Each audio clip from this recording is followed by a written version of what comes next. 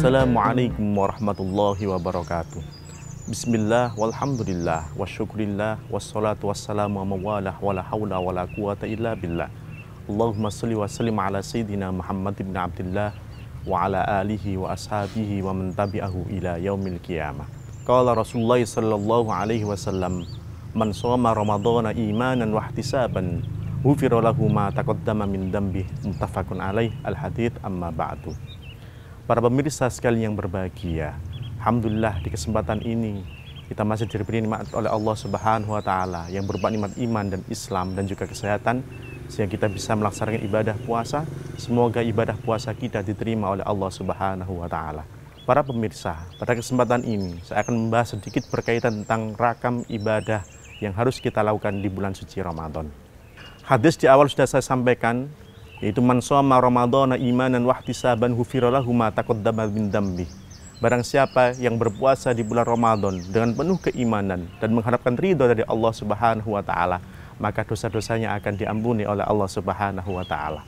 Oleh karena itu ini adalah momentum emas bagi kita untuk mengisi hari-hari di bulan Ramadan dengan ibadah kepada Allah Subhanahu wa taala. Ada beberapa ibadah yang bisa kita lakukan yang bisa jadi itu tidak ada pada bulan yang lain. Yang pertama adalah sholat terawih. Sholat terawih ini dianjurkan, disunahkan ketika bulan suci Ramadan saja. Oleh karena itu ini adalah kesempatan emas yang harus kita lakukan. Sebab sholat terawih tidak dianjurkan pada bulan-bulan yang lain selain Ramadan. Yang kedua adalah tadarus Al-Quran. Ini juga penting. Karena Rasulullah menyatakan bahwa ketika kita membaca ayat-ayat dari Al-Quran, maka ibadah kita, setiap huruf, akan dilipat gandakan pahalanya oleh Allah Subhanahu wa taala. Kemudian Rasulullah menyontohkan, ketika kita membaca satu huruf, maka pahalanya adalah 10 kali lipat. Ketika kita membaca alif lam mim misalkan, itu tidak dihitung sebagai satu huruf, tapi dihitung dengan tiga huruf. Alif sendiri, lam sendiri, dan mim sendiri.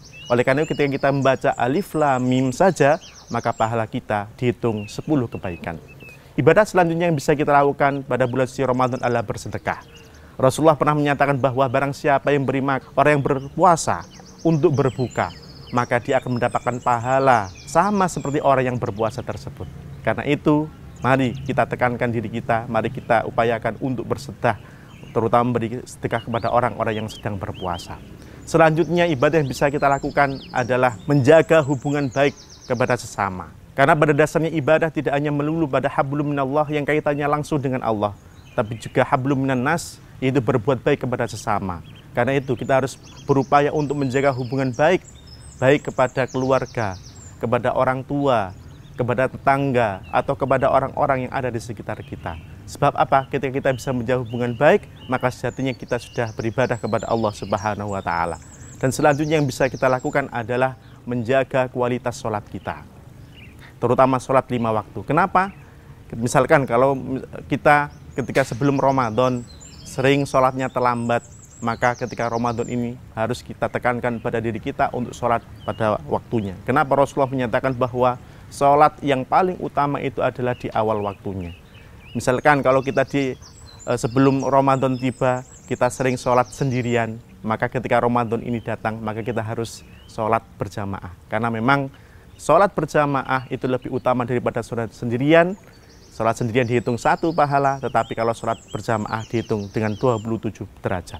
Itulah amaliyah-amaliyah yang harus kita lakukan di bulan suci Ramadan, karena ini adalah momentum emas bagi diri kita, karena bulan Ramadan semua amal ibadah dilipat gandakan oleh Allah Subhanahu wa Ta'ala. Semoga apa yang saya sampaikan bermanfaat bagi kita semua. Walafu minkum. Wassalamualaikum warahmatullahi wabarakatuh.